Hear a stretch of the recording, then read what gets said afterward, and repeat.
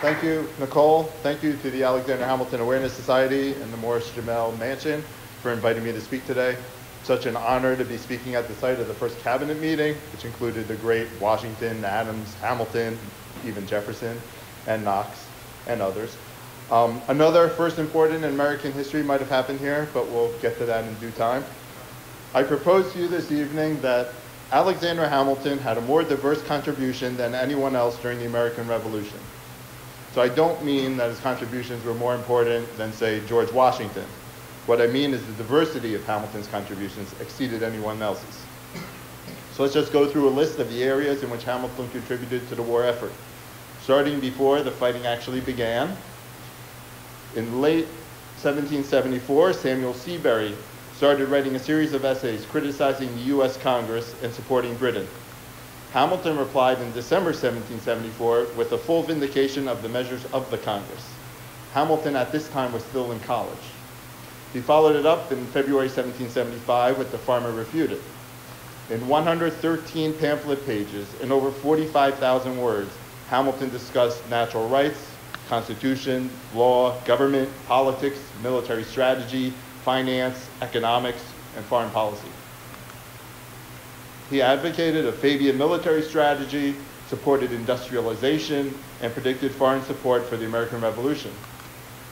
Hamilton's essays were sold and read throughout the colonies. Copies of A Full Vindication were advertised in the Philadelphia newspaper.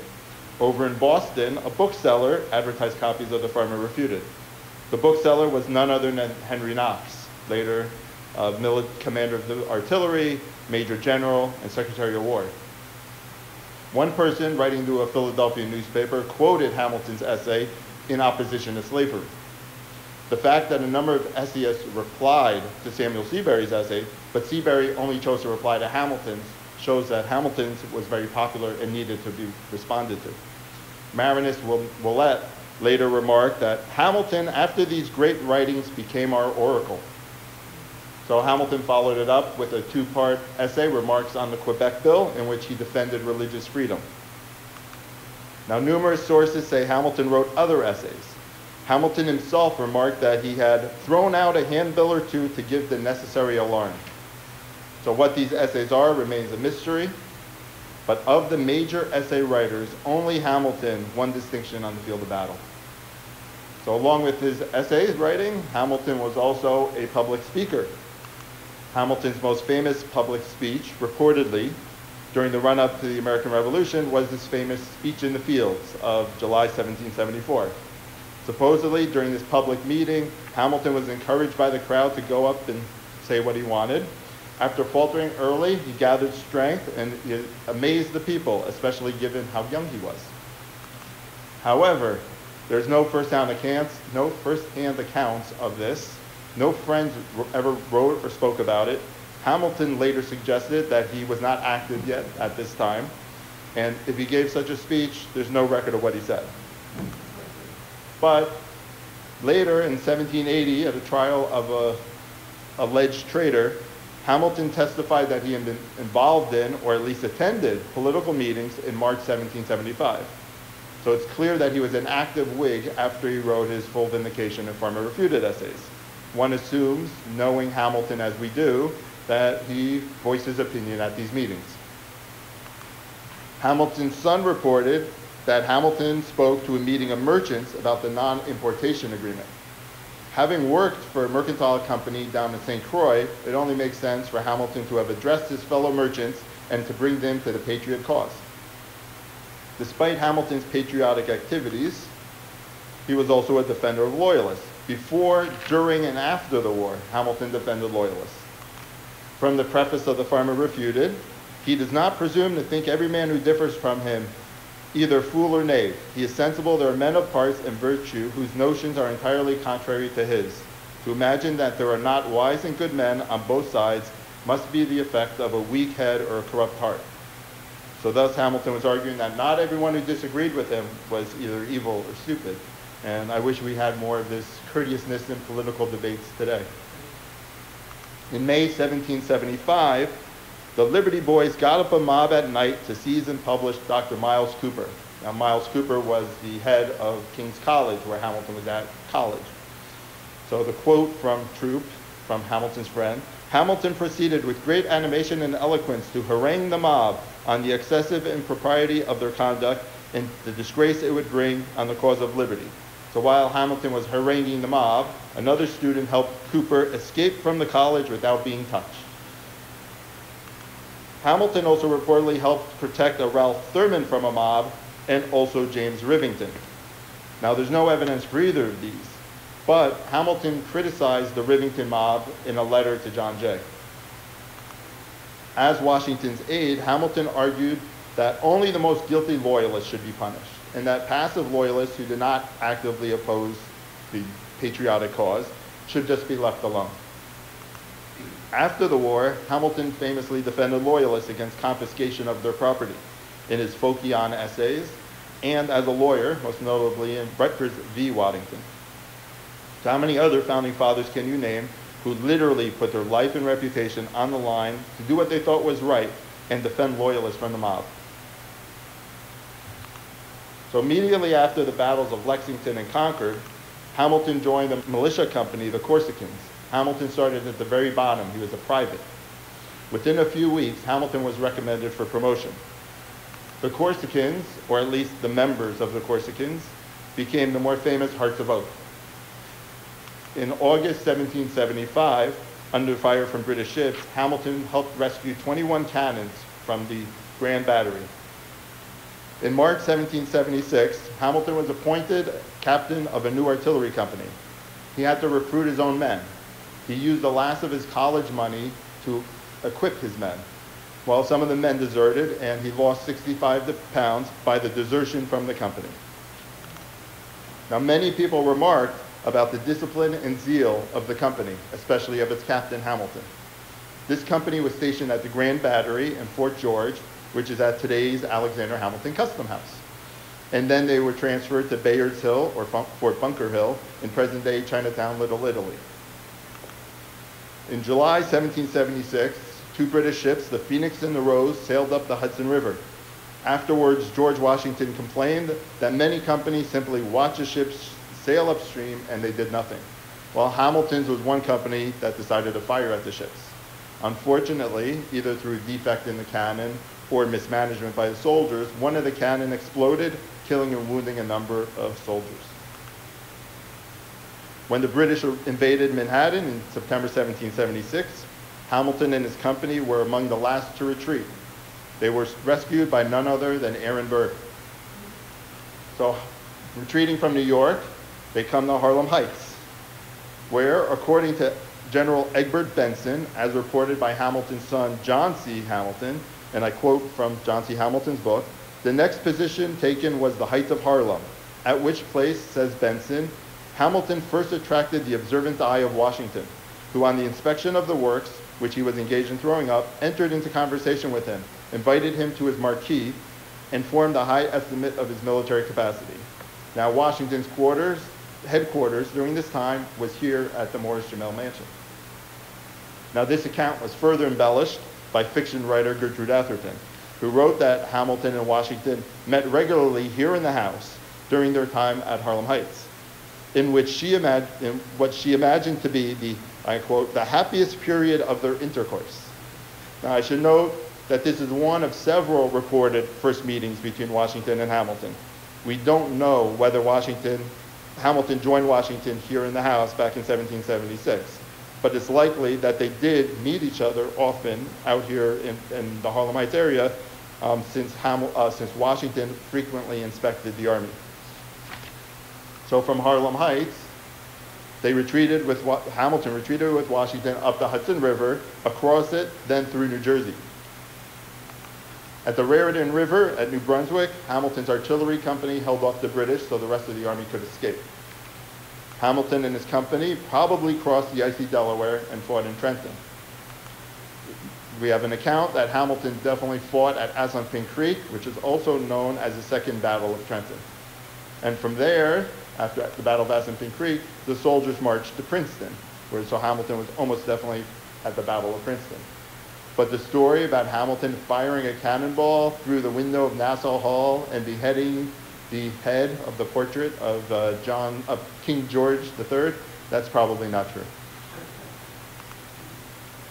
All this and more brought Hamilton to the attention of Washington. Hamilton became an aide in March 1777. His primary job was not very prestigious, was to write letters. Washington had been complaining for quite a while about his inability to keep up with his correspondence. Well, this complaining stopped right when Hamilton became an aide. Hamilton wrote most of Washington's important and lengthiest letters and reports during his service. Hamilton's writing style was better than Washington's and was as good or better than the other aides. Hamilton also had more military experience than most states, giving him an edge when writing on these topics. His financial and administrative experience working as a clerk and merchant down on St. Croix also helped when he was writing about military organization and financial matters. When Hamilton was an aide, became an aide, New York's government asked him, as if he wasn't busy enough, they asked him to report any occurrence in the army which may have happened. So over the next six months, Hamilton wrote no fewer than 25 letters to the New York Committee of Correspondence and prominent New York politicians like Gouverneur Morris and Robert Livingston. Now, most of these letters were about military matters, but Hamilton also shared his thoughts on the new New York Constitution. Hamilton also wrote to the governor of New Jersey, who Hamilton had lived with back in prep school, and he wrote to other leading officials. Hamilton used his connections to support Washington and the Fabian strategy that Washington was employing, which Hamilton had recommended way back in the Farmer Refuted in 1775. Hamilton also advocated for government support of the army, which included actually paying the soldiers, you know, giving them food, clothing, and actually they needed more men. Hamilton supported Washington against the Conway cabal and the continuing pressure to replace Washington with Horatio Gates. Hamilton also supported Washington in the feud with Charles Lee, Hamilton, in a letter to Elias Boudinot, even called Lee a driveler in the business of soldiership or something much worse, which suggests that he thought Lee may have been a traitor.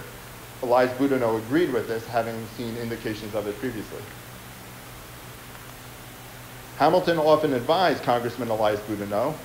Later, he became the president of Congress. Elias Boudinot, not Hamilton, um, regarding military and political matters. In 1780, to give one example, Hamilton suggested to members of Congress to appoint Nathanael Greene, commander of the Southern Army. Hamilton expressed his confidence and high expectations after Greene got appointed. Greene, of course, had great success in the South and paved the way for the American victory at Yorktown and the entire American Revolution. Hamilton later called Greene an accomplished master in the science of military command, the first soldier of the Revolution, and the leader of army and the, the leader of armies and the deliverer of states.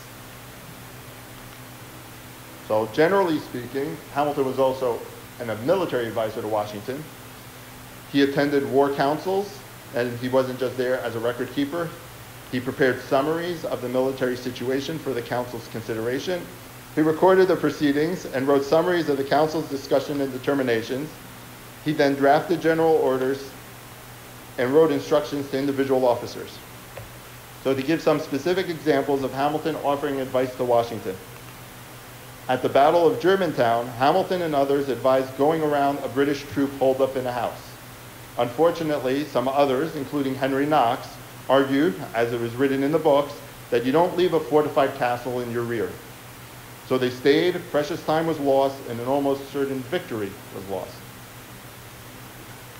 Prior to the Battle of Monmouth, Hamilton and others argued against the decision of the Council of War, arguing that the Continental Army should force an engagement. Washington was convinced. So during the battle, Hamilton, knowing more about the positions of the two armies, advised Washington how to deploy the troops. Washington followed Hamilton's advice, and there was a good outcome. The Americans did very well in that battle. Some debate over whether they won or was a tie. Speaking more broadly, James McHenry noted that Hamilton's advice in many instances, a fact known to myself, had aided our chief in giving to the machine that perfection to which it had arrived previously the close of the Revolutionary War. Similarly, Major General Marquis de Lafayette noted that Hamilton has the entire confidence of the general. And Washington himself later said that Hamilton was his principal and most confidential aide of the commander in chief.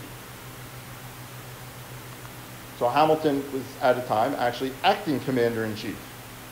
In one instance, Washington sent Hamilton from Pennsylvania to New Windsor, Fishkill, and Albany, New York, about 250 miles, to order Israel Putnam and Horatio Gates to move troops southward. But Washington left it up to Hamilton as a, about whether to do so, which depended on the actual situation at the time, and how many troops should be sent. By granting Hamilton discretion in his mission, Washington left the entire course of the campaign and possibly the outcome of the war in the hands of his aide. It would be up to Hamilton to decide whether thousands of troops should stay in the north or be transferred southward, thus determining whether the next phase of the war should be fought against Henry Clinton in New York or against William Howe in Philadelphia. This type of decision could only be made by the commander-in-chief, but the commander-in-chief gave that power to Hamilton. Hamilton actually sent Washington more troops than he wanted, but they were too late due to delays caused by Gates and Putnam. After Benedict Arnold's treason, Hamilton chased after him but was too late. So he immediately wrote to Nathanael Greene to advise him to send the brigade to West Point and to prepare the rest of his army to march. Afterwards, when Hamilton returned to headquarters, Washington requested that Greene do as Hamilton advised, but Greene had already done so in consequence of the letter received from Colonel Hamilton. So although Hamilton advised Greene you'll notice that Washington requested that Greene do something. They basically were giving Greene orders, but he had discretion if he knew something that Washington and Hamilton did not. So in addition to being acting commander-in-chief, Hamilton was also a field commander. So at Monmouth, Hamilton advised, as Hamilton said, or ordered, according to the person he advised, one colonel to march and support the artillery. So after that, Hamilton then pressed a retreating brigade to reform and engage the enemy. Hamilton stayed with that brigade on the field of battle. Hamilton later explained that his, and I quote, horse received a wound which occasioned me a fall by which I was considerably hurt. This and previous fatigue obliged me to retire. Hamilton also acted as a scout at Brandywine. Hamilton reportedly reconnoitered the enemy and had informed the general that they, the enemy, were in full march up the river on the other side of it towards his right. Contrary intelligence came in from others, and Hamilton's report went unheeded. Un unfortunately, Hamilton was correct if the second-hand account was true. I mean, the troops were coming up the river. We just don't know if, you know, second-hand account. We're not positive Hamilton did this. Washington reported later that, unfortunately, the intelligence was uncertain and contradictory. As a result, the Battle of Brandywine was lost. Prior to the Battle of Monmouth, Hamilton spent four days and some nights reconnoitering, gathering intelligence, reporting back to Lafayette and Washington, and facilitating communication between the scattered army regiments. So Hamilton was also an acting quartermaster. So one time, Hamilton was sent with a small party to destroy some flour mills. The British arrived. Hamilton and his men jumped in the ships they had left there to escape across the river. The British fired at them. One man was killed, one was wounded, and Hamilton's force was disabled. On the scene, riding up, was Henry Lighthorse Harry Lee. Well, he wrote to Washington that Hamilton may have been killed. When Hamilton returned to headquarters, Washington was, of course, very happy to see him. So after this happy reunion, Hamilton warned Washington that he thinks Lee may have been captured. So Washington joyfully handed Lee's letter to Hamilton, and they had a good laugh together. So in September 1777, the British were about to take Philadelphia. Washington decides to send Hamilton into Philadelphia to procure blankets, clothes, horses, shoes, military stores, boats, etc.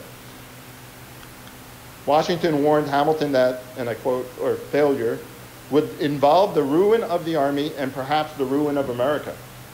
Hamilton was thus given confiscatory powers limited by his own judgment. Washington even had Hamilton write his own instructions. John Marshall later explained that Hamilton executed his duty with so much vigilance that very little public property fell with the city into the hands of the British general.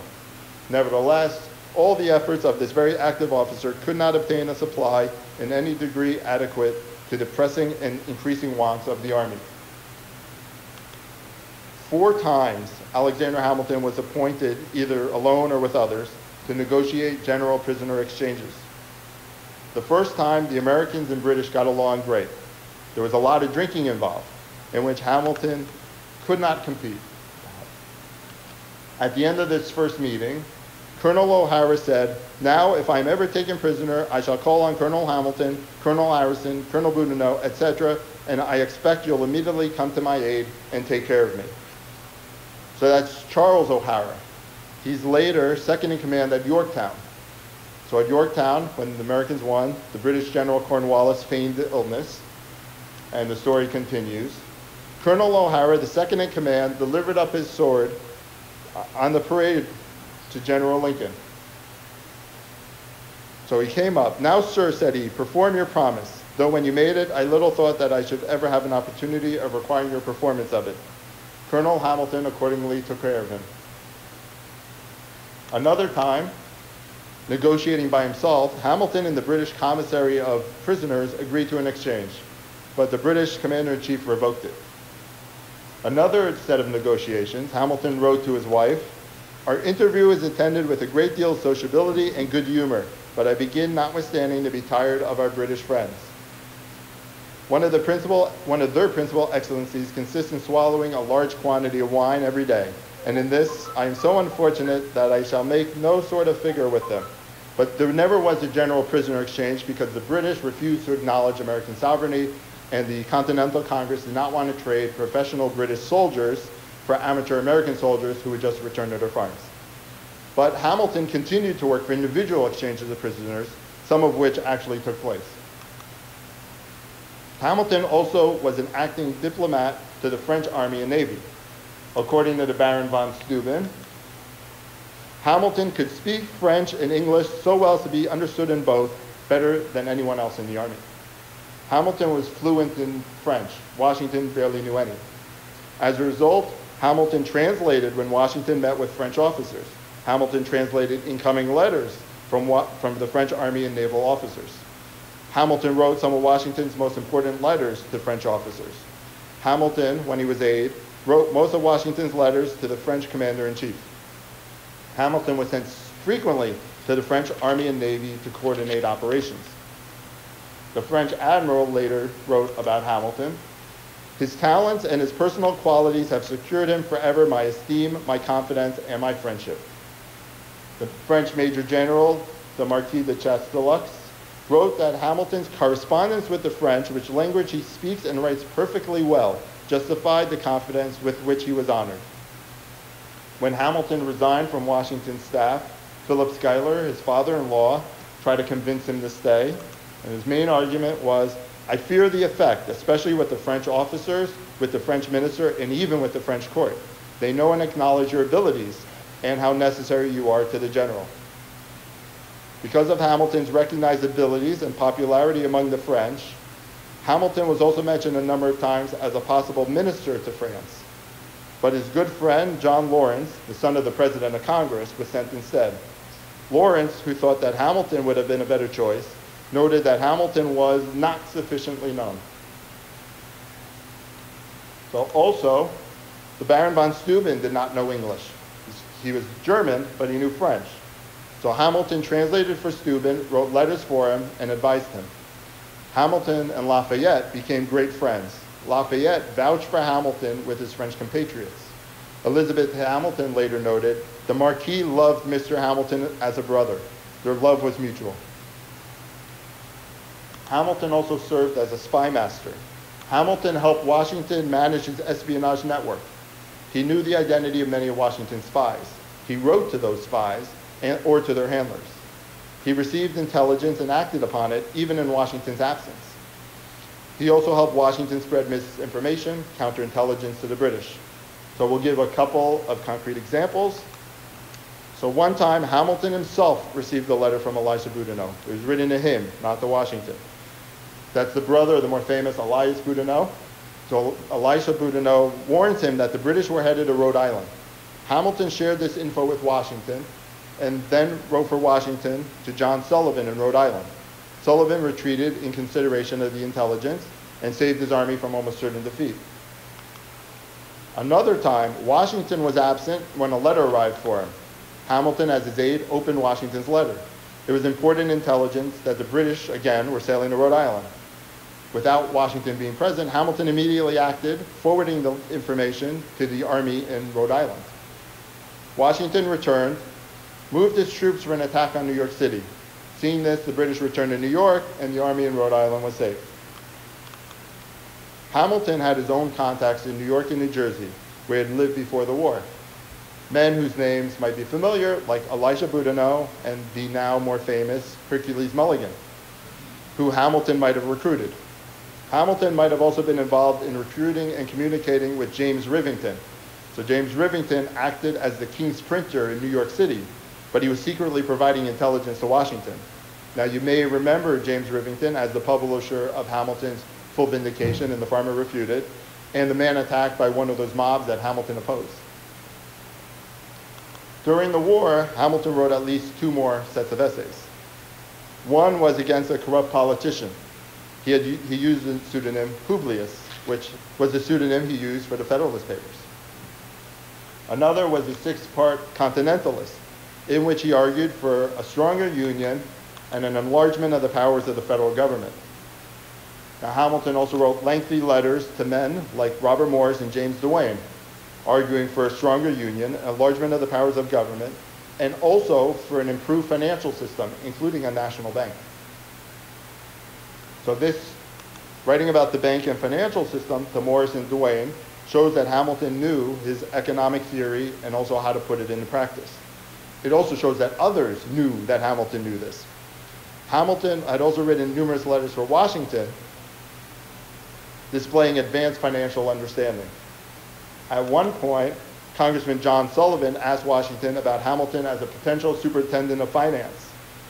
Sullivan wrote, I wish your excellency would be so obliging as to give me your opinion with respect to Colonel Hamilton as a financier. Washington, perhaps because he didn't want to lose his aide, Hamilton, did not endorse him for the job, but he still praised him highly. There are few men to be found of his age who have a more general knowledge than he possesses, and none whose soul is more firmly engaged in the cause or who exceeds him in probity and sterling virtue. So instead of Hamilton, Robert Morris got the job. In fact, Hamilton had endorsed Morris for the position. So after that, Hamilton not getting the job, Sullivan asked, suggested that Hamilton would be the Secretary of Foreign Affairs, but Hamilton, not being sufficiently known, didn't get that job either. After leaving Washington's staff, Hamilton was appointed to command a battalion of light artillery. So he marched his men along with the rest of the army from the Hudson River to the Chesapeake. From there, to, took a ship to Williamsburg, and then marched a short, short distance to Yorktown. At Yorktown, they took their turn constructing earthworks and serving as a covering party. When one new trench was opened, Hamilton ordered his battalion to mount the bank, front the enemy, and there, by word of command, go through all the ceremony of soldiery. Although the enemy had been firing a little before, they did not now give us a single shot. In the end, there were just two redoubts left to take before the British could be defeated. Hamilton was given command of taking Redoubt 10. He led the troops up over the parapet and into the redoubt. In less than 10 minutes and with few casualties, the redoubt was taken. This won Hamilton the military distinction he had been seeking and ended his service in the army. But the war was not over. Hamilton went to his wife and her family in Albany. There, he was studying the art of fleecing my neighbors. In other words, he was becoming a lawyer. Robert Morris, the superintendent of finance, asked Hamilton to be the receiver of continental taxes for New York. Hamilton hesitated, but eventually he agreed. He didn't collect much because the state refused to pay its share. But failing at this, Hamilton convinced the New York legislature to adopt resolutions to increase the taxing power of Congress and revise the Articles of Confederation. The New York legislators decided to send Hamilton to Congress. Hamilton was now, whether he wanted to be or not, a politician. In Congress, Hamilton met and formed an alliance with James Madison. Together, they introduced a tax to be collected by Congress rather than the states. Of course, it was voted down. Hamilton's most important and well-known act was to warn Washington that a, that a mutiny was underway. Washington was not aware of this, or at least he was not aware of how deep the conspiracy went. And thanks to Hamilton's warning, he was able to stop the Newburgh conspiracy. Now, in April 1773, the war officially ended and the army was disbanded. Hamilton continued his work, and for two more decades, fought for this country. But that's the story for another day.